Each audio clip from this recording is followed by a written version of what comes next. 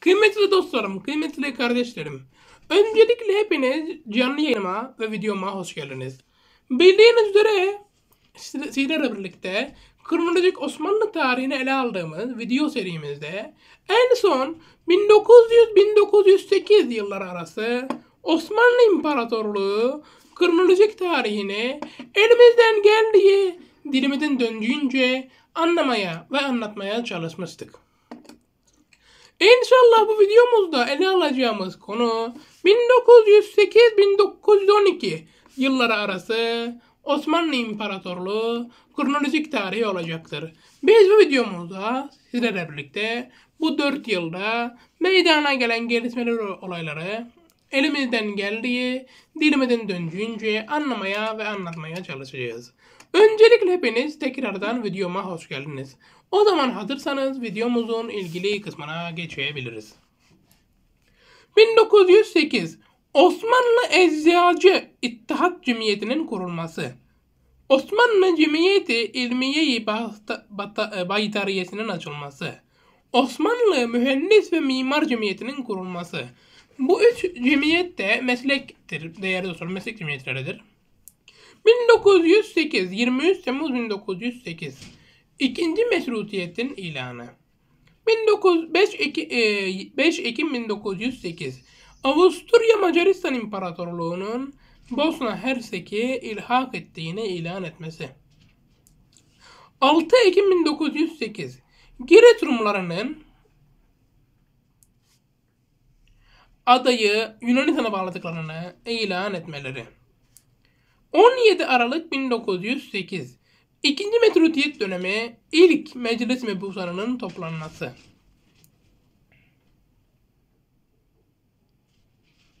...1909... Adana'da Ermeni ayaklanmaları. 1909... Gayrimüslimlere bedel yerine askerlik hizmeti konulması. Yani gayrimüslimler de artık her Osmanlı vatandaşı gibi, her Osmanlı erkeği gibi askere gitmek zorunda bırakılıyor değerli dostlarım. Ee, 1909 Fecri Ati Edebi Topluluğu'nun kuruluşu. Edebiyatçılardır değerli dostlarım bu insanlar. 1909 Osmanlı Mühendis ve Mimar dergisinin çıkması. 13 Nisan 1909 Sultanül Azam Ebul Feth e, Sultan e, 2. Abdülhamit Han Hazretlerine 31 Mart ayaklanmasının çıkar, e, çıkarılarak 2. Abdülhamit Han'ın tahttan indirilerek yerine Sultan 5. Mehmet Resat'ın tahta çıkarılması. 19 Nisan 1909 Harekat ordusunun hatta ha- hareket ordusunun Yeşilköy'e varması, İstanbul'daki Karagasa'ya son vererek düzeni sağlaması. 27 Nisan 1909 İkinci Abdülhamit'in tahttan indirilmesi, 5. Mehmet Resat'ın tahta çıkarılması ve hemen akabinde 17 Aralık 1909 Osmanlı Meclisi'nin açılması. Çünkü Sultan e, 5. Mehmet Resat meclisi yeniden açma sözü verdiği için e, İttihatçılar tarafından basa çıkarılan bir kişidir değerli dostlarım. E, 1910 Arnavutların ayaklanması. Yani Balkanlardaki Arnavutlar e, Osmanlı Devleti'ne karşı ayaklanma çıkarıyorlar. 1910 Dahili gümrüklerin tamamen kaldırılması. Sul, e, 1910 Sultan Resad'ın Arnavutları teskin için Rumeli seyahatine çıkarılması. Çıkartılması. Yani sultana deniliyor ki Sultanül Azam siz e, Rumeli'ye seyahate çıkın. Arnavutlara belki ümit verirsiniz belki ayaklanmaları sona erer. Mealen bunu diyor. 1911 İtalya'nın Trablusgarp ve Bingazi'ye saldırması ve işgali. işgali. 1911 Gayrimüslim cemaatlerinin birleşerek mektepleri konusunda yeni bir düzenleme istemeleri. Yani gayrimüslim okullarına Osmanlı Devleti'nden yeni bir düzenleme istiyorlar ki Osmanlı ülkesini daha rahat parçalayabilsinler değerli dostlarım. 1911-1912 Osmanlı Evet dostlarım 1910-1912 Trablusgarp'ı işgal eden e, İtalya'ya karşı Osmanlı Devleti'nin savaş ilan etmesi. Şimdi dostlar bu canlı yayını biraz hızlı bu videoyu biraz hızlı geçtim farkındayım. Çünkü sizlere şimdi 31 Mart vakası olayını eee, izletip canlı yayınımıza biraz daha zenginlik katacağım.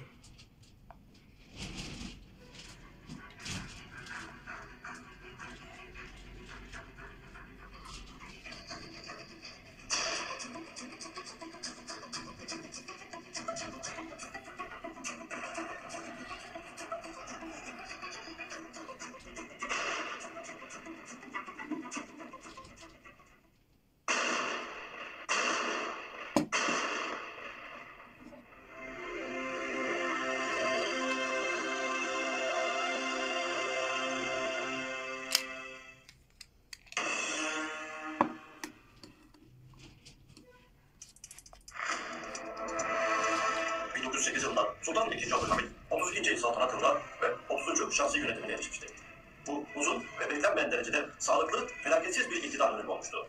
Ancak Abdülhamit yönetiminin bu kadar uzun sürmesi karşıtlarını da huzursuz ediyordu. Halkın büyük bölümü ise padişahtan memnundu. Ancak belli bir çevre yönetimde değişiklik yapılmasını istiyordu. Bu nedenle payitahtta sürekli ordu subayları ve öğrenciler tarafından isyan hareketlerine girişiliyordu. Kimse Tanzimat rejimi dışında eski yönetimi istemiyordu. Kimse eski Yeniçeri ordusu gibi savaştan kaçan ama İstanbul'da kabadayılık yapan askeri de özlememişti. Ancak Sultan Abdülhamit halkını eğitmişti. Binlerce okul Osmanlı Devleti'nde açılmış, halkın refah ve kültür seviyesi artmıştı. Sultan da bu durumdan memnundu. Ancak belli bir zümre bu refahı kötüye kullanmak için padişaha karşı sürekli halkı ve orduyu kışkırtıyordu. Bunların hepsi ya direkt olarak İngiliz ajanıydı ya da bağlantısı vardı. Halen yürürlükte 93 anayasası vardı. Devleti Sultan Yıldız Sarayı'ndan yönetiyordu. Tabii artık değişim zamanı da gelmişti. Millet meclisin tekrar açılmasını, bakanlıklar kurulması ve milletvekilleri seçilmesini istiyordu. Ancak Sultan Abdülhamit 1. Meşrutiyet döneminde olan birçok milletvekilinin işbirliği yapmasından çekiniyordu. Çünkü Sultan bunu bizzat yaşamıştı. Devleti parçalanmaktan o kurtarmıştı. Sultan Abdülhamit bir gün öleceğini ve bu dünyada ebedi olarak kalmayacağını biliyordu. Bu yüzden de saltanatından sonra güçlü, borçsuz bir Osmanlı ve kültür ve refah seviyesi artmış bir millet bırakmak istiyordu. Bunun için elinden gelen her şeyi yaptı. Kendi servetini bile bu konuda hiç tereddütsüz harcadı. Bunu anlamayan e, muhalif genç Osmanlılar hala Mithat Paşa'nın izinden gitmeye çalışıyorlardı. Mithat Paşa hainin önde gideni İngiliz ajanı ve vatanı Osmanlı'yı neredeyse parçalamış bir kişiydi. Ancak padişaha karşı olduğu için Abdülhamit karşıtları hala onun arkasında birikiyorlardı. Sultan Hamid ne yaptıysa vatanı milleti için çalışmıştı. O gittikten sonra Birinci Dünya Savaşı'nın kaybedilmesinin ardından bu Avrupa'yı ve akıllı diye kendilerini ön plana çıkaran kişilerin birçoğu ülkeyi terk edecek ve açıkça sultanı anlamadıklarını, yaptıklarının hata olduğunu itiraf edeceklerdi. Ancak iş işten geçmiş olacaktı. 1908 yılında Sultan Abdülhamit 66 yaşına gelmiş, çok yorulmuş ve hem dışarıdan hem de içeriden gelen darbelerden bıkmıştı. Onu ayakta tutan en önemli faktör hilafet makamı ve milletiydi. Meclisi tatile sevk etmesinden 30 yıl beşer geçmişti. Sultan Hamid artık bu 30 yılda halkının, subayının, aydınlarının nasıl bir yol izleyeceğini görmek istiyordu. Dünyadaki büyük devletlerin anayasalarını saraya getirtip hepsini Türkçe'ye çevirterek incelemeye başladı. Sultan da bazı değişikliklerin yapılmasını gerekli görüyordu. Sultan bu hazırlıklar içerisindeyken kıyameti İttihat ve Terakki Cemiyeti kopardı. Bu cemiyet 1890 yılında 1 Kasım Harbiye ve askeri tıbbiyesi tarafından gizlice Sultan Hamid rejimine karşı kurulmuştu. 1897'de cemiyetin faaliyetleri haber alınıp dağıtıldı. Üyelerinin birçoğu Avrupa'ya Paris'e kaçtı. Sultan Hamid'in adamları onlarla bağlantı kurup belli bir kısmını Türkiye'ye getirmeyi başardı. Kendilerine devlet görevleri de verildi. Bir kısmı ise hala Avrupa'da kalıp Osmanlı ve padişah aleyhinde kampanyalar yapmaya devam etti. Sultan Abdülhamit dünyaya gelmiş en son büyük imparatorların en önemlilerindendir.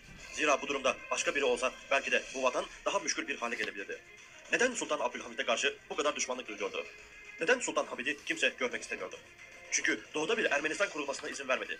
Eğer verseydi kendisine Kızıl Sultan lakabı verilmeyecekti. Filistin'de Yahudilere yurt verseydi tahtından indirilmesi için bu kadar çaba harcanmayacaktı. Hindistan'daki Müslümanlara Cuma hutbesinde adının okunmasını istemediğini bildiren bir beyanname gönderseydi, İngiltere tarafından herhalde çok övülür, İngiltere'de rahatla sömürüsüne devam edebilirdi. Balkanlarda Ruslar ile işbirliği yapsa, Boğazlar'da kendilerine imtiyaz tanısaydı, Rusya herhalde sultanı övmekten geri durmazdı. İşte bunlar Türk'ü İslam'ı temsil ettiği için bu değerleri korumaya çalıştı. Bu yüzden de düşmanı çoktu. Çünkü derdi milleti ve diniydi. Şimdi ise karşısında bir de ittihatçı örgütünü buldu. Devleti topla, tüfekle, askerle yıkamayan Osmanlı düşmanları şimdi içeriden saldırıya geçmişlerdi. Sultan Abdülhamid'i karalamaya ve yıkmaya çalışan kişiler tüm Avrupa'nın da desteğini almıştı. Aleyhinde gazeteler basılıp Osmanlı halkına dağıtılıyordu. Günümüzdeki tarihçiler bunların %90'ının yalan haber olduğunu onaylar. Düşmanlık çok büyüktü. Hatta dönemin şairlerinden Tevfik Fikret, Sultan Abdülhamid'e karşı yapılan suikast girişiminde başarısızlığa uğranılmasından sonra şu şiiri yazmıştır. Bir patlama, bir duman ve bütün bir şenlik alayı. Sahnelediği oyunu seyreden kalabalık, haşin, azgın. Tırnaklarıyla kahredici bir el, didik didik yükseldi havaya. Bacak, kelle, kan, kemik. Silkip yüzyılların oyunlarındaki ilmiklerini en çetin bir uykudan uyandırır bir milleti dehşetin. Ey şanlı avcı, damını beyhude kuramadın. Attın ama yazık ki, yazıklar ki kuramadın.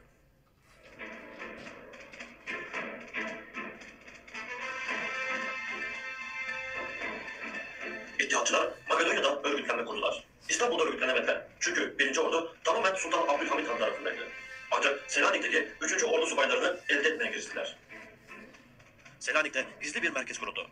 Hemen ardından Manastır şubesi açıldı. Yönetim sonradan paşa olacak olan Talat Bey'in elindeydi. 1908'de 3. ordu subaylarından bir kısım ittihatçı oldular.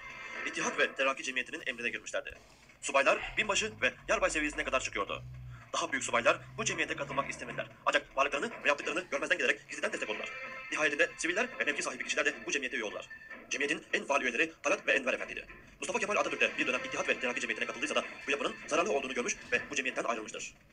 Çok Müslüman kanına gitmiş olan Bulgar ve Yunan çeteleriyle anlaştılar. Karşısındaki herkes dost onlar için. İttihatçılar kendileriyle işbirliği yapmayan Osmanlı görevlilerini kurmaya başladılar. Binbaşı Enver Bey bizzat tabancasıyla eniştesi Selanik Merkez Komandanı Kurmay Albay Nazım Bey'i yaraladı. Bu olaylar gelişirken payitahtta da olaylar büyüyordu. İkinci meşrutiyetin ilan edilmesi için sultana büyük baskılar yapılıyordu. Zaten Sultan Hamid bu çalışmalar içerisindeydi. Ancak henüz bitirmemişken baskılar neticesinde ikinci meşrutiyetin ilan ettiğini açıkladı. 23 Haziran 1908 günü Sultan Hamid yaptığı bir konuşmayla irade-i seniyem kanuni esasiyi tekrar yürürlüğe koydum. Esasen bu anayasayı kendisinin ilan ettiğini, o devrin şartlarına göre meclisi tatil ettiğini, şimdi tekrar seçimlere hazırlanmasını istedi. İkinci meşrutiyetin ilanından sadece birkaç ay sonra Bulgaristan Osmanlı topraklarından ayrıldığını ve kendi krallığını kurduğunu ilan etti. Avusturya Macaristan ise Osmanlı adını yönettiği Bosna Hersek'i ilhak etti. Çifte monarşinin müşterek idaresinde kalacağını bildirdiler. Ertesi gün ise Girit yönetimi de Osmanlı'dan ayrılıp Yunanistan'a katıldığını ilan etti. İşte henüz meşrutiyetin ilan edilmesinden 3 ay geçmişti ki Sultan Abdülhamid'in devlet yönetimi dehası görünmeye başlamıştı. Meclisin açılmasından sonra ittihatçılar silah zoruyla kendilerini seçtirdiler. Azınlıklar mecliste daha fazla koltuk kapabilmek için her türlü entrikalara giriştiler. 17 Aralık 1908 günü Sultan Abdülhamid sevgili oğlu Burhanettin Efendi ile meclise geldi. Mecliste nutuk verdi. Tüm milletvekillerinin Osmanlı Devleti menfaatleri adına çalışmasını istedi. Meclisin açılmasının ardından olaylar, isyanlar da kendisini göstermeye başladı. Ermeniler yine Adana bölgesinde isyan ettiler. 1850 Müslümanı katliam ettiler. Osmanlı kuvvetleri karşı saldırıda 17 bin Ermeni öldürdü. Bu isyanı Klikya Psikoposu bu şekilde düzenlemişti. Yine başarı elde edemeyince Mısır'a kaçarak İngilizlere sığındı. Binlerce Müslümanın kanına giren Bulgar, Sırp, Yunan ve Ermeni çeteleri meclisçe affedildi. Bütün kapılar açıldı.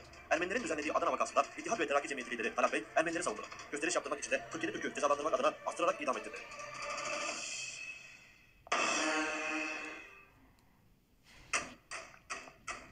İttihatçılar mecliste daha fazla devlet yönetimine adamlarını sokabilmek için sokakları karıştırdılar. Kendileri de muhalif olanları öldürdüler. Tamamen devlete hakim olmak istiyorlardı. Ancak tek kişiden çekiniyorlardı. Sultan Abdülhamit hala güçlüydü. Tek kelimesiyle tüm düzeni terse çevirebilecek bir kudrete sahipti. Gölgesi bile İttihatçıları korkutmaya yetiyordu. O yüzden tahta kalamazdı. Tüm Abdülhamit karşıtları bu konuda birleştiler. Tek korkuları ise İstanbul'daki birinci orduydu. Tam teşhisatlı ve tamamen padişaha bağlıydılar. Birinci ordunun başına kendi adamları olan Mahmut Muhtar Paşa'yı atadılar. Kendisi Ahmet Muhtar Paşa'nın oğludur. Birinci orduyu bir nevi ele geçirdiler. İttihatçılara bağlı üçüncü ordu Selanik'ten hareketle İstanbul'a geldi. 14 Nisan 1909 günü üçüncü ordu Avcı Taburu isyan çıkardı. Önemli padişaha yakın milletvekillerini öldürdüler. Sultan Abdülhamit İstanbul'daki ikinci tümen komutanını çağırarak bu isyanı bastırmasını istedi. Tümen komutanı ise birinci ordu komutanı Mahmut Muhtar Paşa'dan öyle bir emir almadığını ancak başkomutan olarak emrederseniz saldırabileceğini bildirdi. Sultan Hamid birinci ordu komutanını ezmek istemedi ve tümen komutanını birinci ordu komutanının emrine yönlendirdi. Mahmut Paşa ise isyanı bastırma emrini bile vermedi. Selanik'te bulunan 3. Ordu komutanı Mahmut Şevket Paşa önderliğinde tren ile İstanbul'a sevk edildi. Ordudaki kuvvetler ise çoğunlukla gönüllüler ve Türk Müslüman kanı dökmüş Bulgar, Sırp, Makedon, Arnavut çetelerinin isyancılarıydı. Sadece başlarında bir Türk komutan bulunuyordu. Bu orduya hareket ordusu ismini taktılar. Birinci ordu komutanları sultanın huzuruna çıkarak hareket ordusunu durdurmayı teklif ettiler. Abdülhamit Han emretseydi emrindeki kuvvetler bu asileri darmadağın edebilirdi. Sultan Hamid ise kesinlikle silah çekilmemezdi. Müslümanı Müslümana kırdırmak istemiyordu.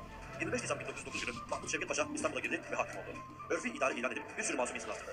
Yıldız Sarayı Balkan çetecileri tarafından yağma edilmeye başlandı. Padişahın mallarına el konmuştu. Diğer taraftan İttihat ve Terakki lideri Talat Bey meclise hakim olmuştu. Tüm İstanbul'u ellerine geçiren İttihat ve Terakki üyeleri ve 3. Ordu Şeyhülislam'ı zorla harp fetvası imzalamak istediler. Dönemin Şeyhülislam'ı bu fetvayı imzalamadı. Hemen ardından Şeyhülislam adında bir yuvaz bulup bu fetvayı ilan ettirdiler. Sultan Abdülhamid'in tahttan indirilmesindeki en acı olay ise şu oldu.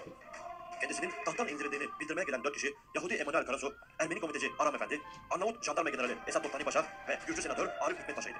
Bu Yahudilerin ve Ermenilerin Abdülhamid'den intikam aldığı anlamına geliyordu. Bu olay Türk tarihinin bir utanç kaynağıdır. O gece Sultan Abdülhamid 38 kişilik bayetiyle birlikte trene bindirilip Selanik'e gönderildi. hiçbir şeyini, eşyasını almasına izin vermediler. Kendisine tahsis edilen Alaaddin Köşkü'nde ise ne bir yatacak yatak ne kullanacak bir eşya vardı. Tüm servetine el kondu. Sıkı bir şekilde burada nezaret edildi. Gazete okumasına bile izin verilmedi.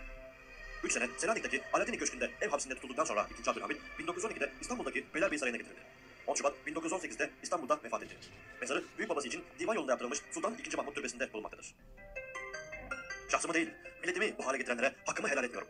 Beni, benim için lif lif yolsalar, cımbız cımbız zerrelerimi koparsalar, sarayımı yaksalar, hanemanımı, hanedanımı söndürseler, çoluğumu gözümün önünde parçalasalar helal ederdim de, sevgilinin yolunda yürüdüğüm için beni bu hale getiren ve milletimi ateşe atan insanlara hakkımı helal etmiyorum. Kıymetli dostlarım, kıymetli kardeşlerim, videomu izlediğiniz için çok teşekkür ediyorum. Önümüzdeki hafta yeni videomuzda görüşmek üzere. Sağ olun, var olun. Allah'a emanet olun. Önümüzdeki hafta 1913-1914 yılları arası Osmanlı İmparatorluğu kronolojik tarihin videosunda görüşmek üzere. Sağ olun, var olun. Allah'a emanet olun. Kardeşlerim Allah'a emanet olun inşallah. Allah'a emanet olun.